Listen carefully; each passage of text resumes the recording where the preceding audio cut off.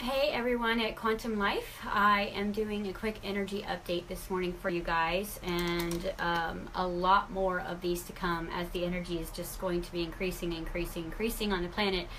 And sometimes, um, sometimes I have a um, just like everyone, I go I go within to process everything that's going on, and I just thought, um, you know, instead of going in my solitude moment and working out some things that I might as well just jump on Quantum Life and, and let you guys see inside um, of what's going on with Collective right now and what's going on. Um, anything that I left off from Second Sunday, everyone who attended online for Second Sunday, I always appreciate you being there and holding space for me, um, but also uh, being a part of that because it's um, it's not always easy. For the last three Second Sundays uh, that I've done, right before second Sunday, I have like had some catastrophic event take place. And I think it's ironic that um, no matter what is going on in my life, I still have to kind of show up and still do my job. And my job is basically my mission on the planet, which is to um, be that messenger and to inspire that we are all in this together and there there is not only hope but there is there's a lot of support in us all becoming who we ask to be. Um, and it's just uh, it's just been month after month after month and it's really like pushed me to the edge of sometimes me not wanting to show up but what it's done is it's pushed me into that really uncomfortable place where I have to make changes. Um, and and that's usually what happens with us because we're all stubborn children at heart you know it, it's really easy to get comfortable. And it's even it's even comfortable to be in pain at sometimes because the pain is familiar. Um, the pain is something that you're used to. It's something that your body's used to. You have certain coping devices that you use to get through your day to get through your relationship to get through your job. And and that's really what's been been taught to me in the last few months is pushing you outside of um, even the comfort of this this settling that we've done. It's making the settling uncomfortable. It's like we can't use our same reward systems anymore to feel better about our um, our our lives that are not who and what we say it is. And and that's really what's been happening to me is like there's been certain things in my life that have been comfortably painful and you know we know as parents we know as employees we know as bosses we know as daughters and spouses and all of these things that that it's like there's certain things that we do obligationary in life that we get comfortable doing that are completely out of alignment of who we are. And that's what's been kind of happening with me the last few months is I've been really pushed into a lot of my old patterns and I'm I'm trying to use those same reward systems to kind of get through what I've been obligated to do or show up and none of it's comfortable anymore. And it's it's very it's very uncomfortable to be um, a very aware of abusive patterns that I have myself created on myself or that I've allowed other people to um, you know demonstrate towards me. And um, and that's why the last couple of weeks I've been channeling this new modality about breaking patterns and I'm teaching it in TICA um, I'm teaching it in TICA Live, and then we're practicing as a school to really um, move through our patterns of of our unbecoming. You know, to me, the, the you that resides underneath all of your filters is divine perfection. There's nothing you need to change. There's nothing you need to learn. There's nothing that you need to become. This whole process of ascension is literally removing the filters the belief systems, the patterns, the programs, the the the negative limitations that we have defined ourselves to keep us feeling worthy in a world that is very easy to feel worthless in. I mean, the collective energy on the planet is worthlessness right now. And and that's not I'm not saying that's what you're feeling. I'm saying collectively about when I tap in into a meditation, that's literally what I'm feeling. Is this underlying root unworth. And that's why we put ourselves in situations constantly to be devalued so that we can see ourselves running our own programs. And that's exactly what Second Sunday was about yesterday was we're being becoming very aware of the programs that we're running and our self-rewarding mechanisms to feel worthy or false power are no longer really working for us and it, it coincides with the perfect astrology on the planet, the numerology of the exact day and the month and the full moon and the new moons and the solstice that's coming up.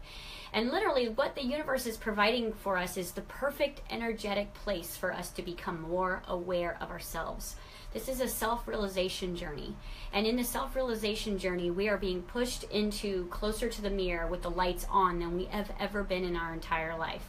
And we're being able to see with a higher level of responsibility, the ability to respond, who we are playing in that part of our lives and who we're not playing and where we've given our power away and where we've lost self-respect. You know and and, and um class a few weeks back i went on a rant about how i realized that i didn't have a ton of self-respect in relationships and and that I didn't have good boundaries in relationships and and it was all kind of coming to a head. And I'm the type of teacher that I want to process my life because I know that there's shadows of my life in all of your lives because we're really in this together. We all have a totally different storyline, but we are totally in this together as far as what we're actually processing right now. The whole planet is processing solar plexus disempowerment, unworthiness issues. We're all feeling unworthy where we've put our heart on the line. We're all feeling not good enough where we've given so much more than we've returned. And so we're feeling kind of in self-judgment of ourselves. We're we're kind of beating ourselves up right now. Because the thing is is once you really get aware you realize that there's nothing outside of you. And so when it's you that has to take responsibility for all of our creations it's very easy for us to move into self-judgment towards ourselves. And so that's what I wanted to share with you guys this morning was you know this this process of depatterning or clearing the programs um, within our our heart space, within our truth, within our knowing, within our root, which is our survival, within our sacred sexuality, which is our creation.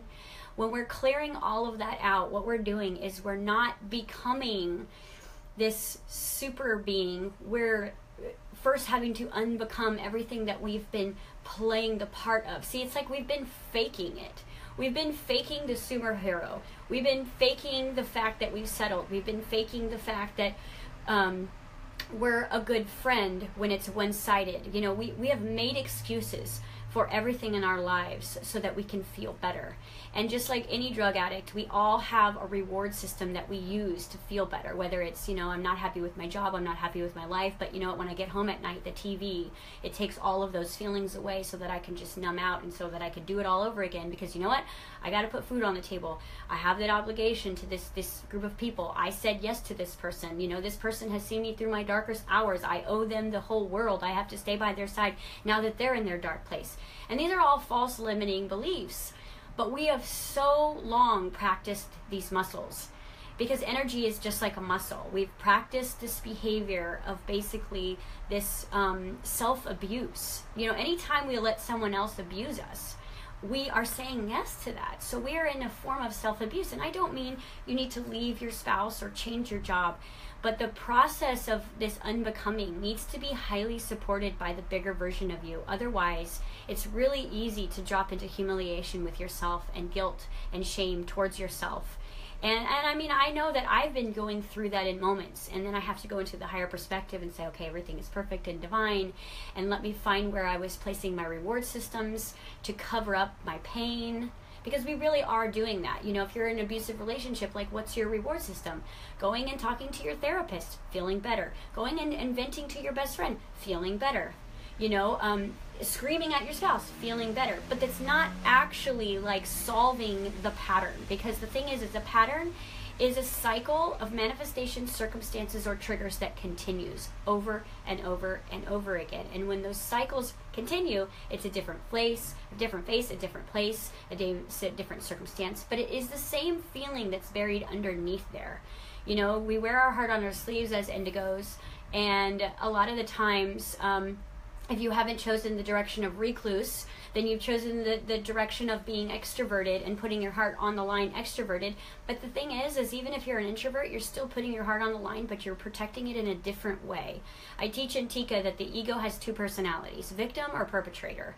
And in the other side of the realm, it's like victim and, and hero complex because it's easy to say, well, perpetrator is hurting someone. But sometimes when you're being the hurt, the hero of someone's life, you're actually being the perpetrator because you're not here to rescue anybody. You're here to hold space, you're here to be a mirror, you're here to be a reflection, and you're here to inspire your own example towards what light looks like. We're not here to save anyone, and when we're actually saving someone from pain or discomfort or leaving someone behind, we're actually playing the hero complex that is false love and false empowerment for us because then it feels better for us to not abandon someone.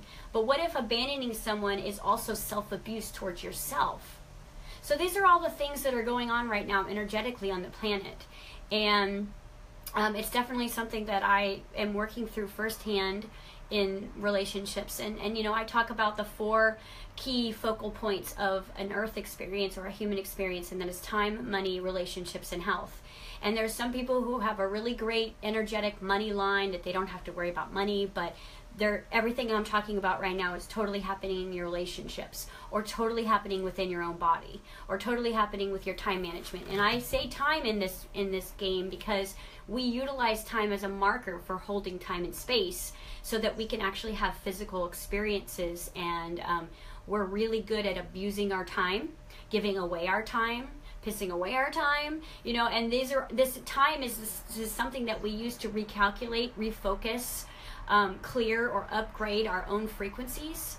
And when we're not using time valuably it's it's like the one most self-abusing thing that we can do. Because everybody has 24 hours in a day and you know people say oh well i can't do that and i can't do that and i can't do that. And that's actually one of the things that i'm working on right now with myself is i'm i'm always quick to say well i don't have time to do that. And the truth is is that that is a reward system because I can be doing something else that distracts me, that makes me feel better than the thing that I'm actually supposed to be doing. So I'm using time as a victim support system in my reward process. And that's something I'm being very honest about and saying, you know what, it's time for me to actually take time and in the forms of where I am self disciplined that's healthy for me and expansive for me, I have to remold the way that I see time. And so I'm using my seven step process to actually remold how I look at the frequency of time. And I'm remolding my frequencies of how I look at the relationships. And because again, you know, growing up your first seven years, you download these programs of what relationships are, what love is, how you're seen in your environment, how you're judged in your environment, how you're judging yourself in your environment. It all takes place in these first seven years. So we're downloading all these programs and then we're just acting it out. And we're like, wow, does, why does this keep happening? You know, we, this, this same pattern keeps recycling because the belief, which is a mindset, and to me, what a mindset is, is this whole bunch of beliefs that are reorganized and create neural pathways in the brains that hold your focus subconsciously on the pattern while your extroverted part, your conscious part, is going, but I want to be in love and I want lots of great friendships. And the you that's underneath going, running the program is saying, Heck no, that's the most unsafe thing we could do. It's unsafe to heal this body because then we'd have to put ourselves out there and turn our light on. It's unsafe for me to put myself out into a healthy relationship, so I'm going to choose people that are not quite at my level. They're going to end up hurting me anyways, but my reward system for not putting myself out there and falling madly in love and and and moving towards love is I'm going to move towards comfortable and safe and then I'm going to go to my friends and bitch about it as my reward system. We've all done it you know, it's it's just who we've been. And I mean, I'm a life coach, so I hear it every week. I I'm the reward system for many many people, and and I am the crutch. I am the ibuprofen. And so what I decided to do is turn my teachings towards being the ibuprofen that actually holds you accountable as myself accountable to say, okay, this is great that you're coming to me to feel better for this hour. But if we're not going to actually break these patterns, then I'm not your coach anymore. And that's part of my self-respecting journey towards healing relationships is I know I've been that crutch. And I want to now be the empowerment to make that that energy responsive towards yourself again and help you break patterns. Because the thing is is once we break patterns it doesn't mean that we don't get to be ourselves anymore. It's what we do is we get to be free. And the ego is so afraid of what that looks like the ego is so afraid of you to turn on your light. Your ego is so afraid of you to put yourself out there and really connect with someone that you truly deserve. That's a partnership, not a relationship. A soulmate that's not a wound mate. But that takes a lot of vulnerability That takes a lot of courage. That takes a lot of discipline and that takes a lot of practice. But it doesn't mean that there needs to be a lot of time involved because intention trumps time and space every single time. And that's why this new pattern process that I'm teaching in TICA um, and we're, we're, we're setting it up where it's such an important process that you don't have to join TICA to get this information. You can actually buy it as a um, a workshop that you do at home. It's going to be about four plus out four plus plus hours of the actual class, but then sub teachings and lots and lots of notes and worksheets to actually make sure that you really download this into your subconscious on how to break a root based self limiting program okay?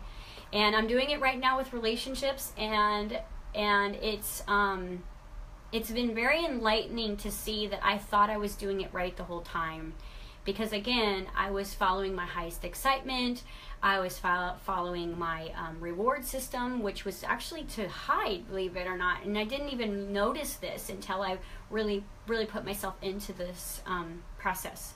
So I just wanted to give you guys this update because the update right now on the planet is is it's unworthiness that's running. And it's running at the core place of of who we are. And you know even though we feel good enough for the accomplishments that we've made there's this place inside of you that's still sabotaging that light within and we're distracting ourselves with um, addictive based people and foods and busyness and drama and fill in the blank you know, and I talked about it in Second Sunday. I don't know why it was so emotional yesterday for me. Probably just because um, it's it's me putting myself out there more vulnerable than I've ever been because I'm working through these patterns, and so what I'm having to do is expose a lot of myself to myself.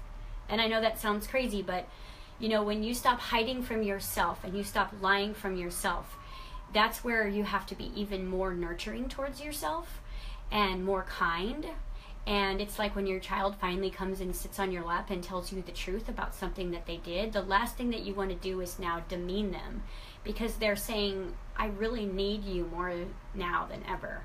And, and that's where I feel like I am with myself. And so I'm going to just kind of put it all out there for you guys to see and hope this is holding space for you and holding a mirror for you to give you the courage to set yourself free as well. Um, I'm going to actually jump into the paid group right now and do a little bit of expanded teachings on this pattern work for them to have for the day. Um, it's going to be, uh, people can definitely prepay for the pattern. Um, I don't know if we're going to call it a workshop or a downloadable, but it's definitely going to be a workshop. It's going to be amazing value. Um, and anyone who right now um, emails uh, us from to Transcendence, I'll give you 20% off of the 199 price um, from watching this video.